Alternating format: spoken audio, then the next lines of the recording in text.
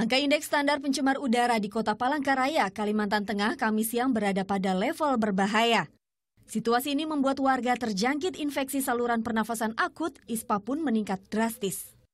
Salah satunya Johan Thomas. Balita dua tahun itu kerap terjangkit ISPA saat kabut asap melanda. Namun tahun ini ia mengalami ISPA lebih parah karena disertai diare. Tak hanya itu, ISPA sering kali disertai penyakit lain seperti demam dan sesak napas.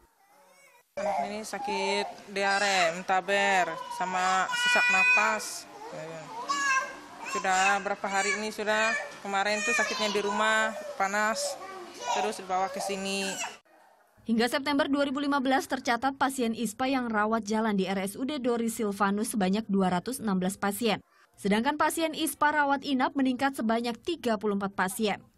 Jumlah ini lebih banyak jika dibandingkan Agustus lalu hanya 18 pasien. Pasien anak-anak mendominasi penyakit ini, lantaran sistem kekebalan tubuh anak-anak yang belum terbentuk sepenuhnya membuat mudah terserang.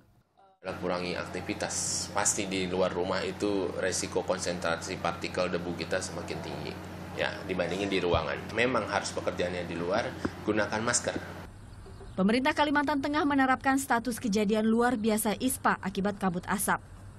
Warga diimbau untuk tetap menjaga daya tahan tubuh dan selalu menggunakan masker saat beraktivitas di luar rumah. Bertin Akbarisa, Kausa Pratama melaporkan untuk NET.